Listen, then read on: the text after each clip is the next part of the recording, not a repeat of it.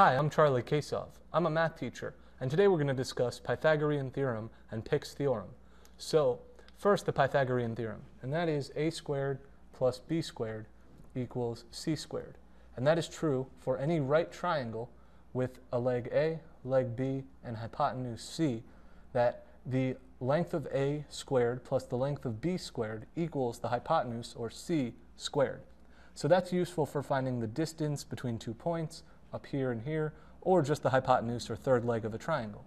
Now, Pick's theorem is a little more complicated. Pick's theorem says that area, or we, should, we could use the capital letter A, equals uh, B over 2 plus I minus 1.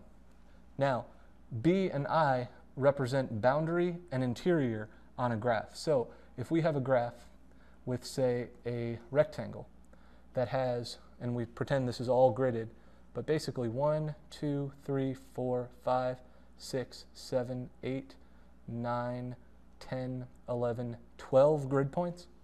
So here, here, here, here.